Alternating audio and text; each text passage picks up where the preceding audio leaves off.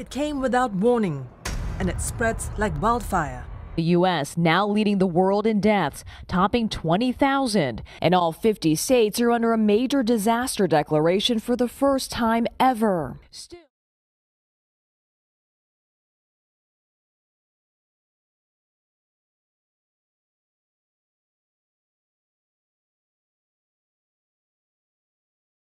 So far, 910,000 cases have been confirmed and 51,445 people have died in the United States. In China, 4,642 people have died and 84,311 cases were confirmed. Because of the coronavirus, people are being forced to stay at home. And now instead of going to school, we have online school.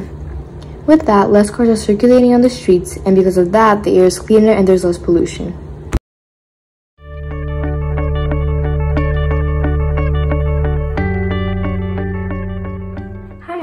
So this is day one of quarantine and honestly i'm really excited because like it's really different and like i hope we can go back to school soon but like i kind of want to like test this whole online school thing out so. Okay so i was gonna vlog like every day during quarantine but then i realized that my video would be way too long if i did that.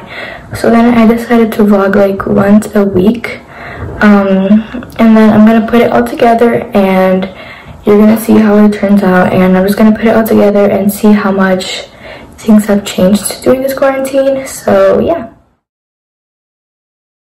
This week I don't have a lot of work because we have to do this i-Ready diagnostic thing. I only have to do a few things for science and for language arts but for math I don't have anything and right now I'm editing that are walking together, but we're six feet apart. Since we're neighbors? Yeah, we're neighbors. We don't make any physical contact. Hi, so today is day 68 of quarantine, I think. Um, honestly, like, I think everybody's already gotten used to it, so it's getting better, but Okay, so today is oh day, day 73, I think. 73. Um, and we're together again. Um, because my mom forced me to hang out with her. Like I didn't really want to see her because she's annoying.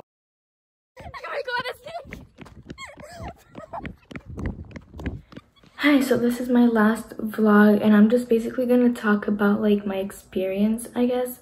Um and yeah.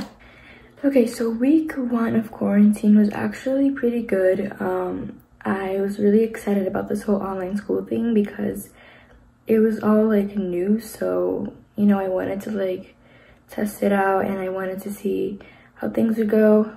Um, so I woke up every day at like 9 and I finished all my work and it was actually pretty good.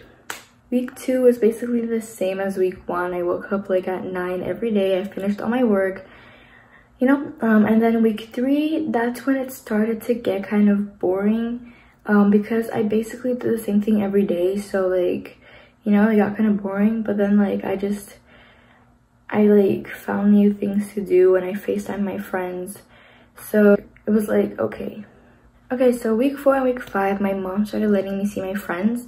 Well, not all of them, just Fed because she's like my neighbors. So it's easier for us to hang out. Um, so we just basically like walked around my neighborhood and um, we stayed six feet apart for the whole time. So yeah. Okay so then week six um i had this drive-through party um so you know we stayed in the car the whole time um obviously.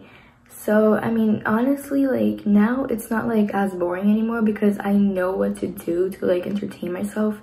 So like if i'm bored i'll just like call fit and i'll ask her if she wants to like um, meet up with me or like i'll just facetime my friends. So you know it's like it's getting better and hopefully on my birthday I'll be able to see my friends because my birthday's in like 26 days. I, I mean, honestly, I feel like right now things are good um, but if we have to do like this whole online school thing again next year then honestly like um, I don't know because like now I feel like I'm fine with it because I don't have any other options like I can only do online school because we can't go back to school.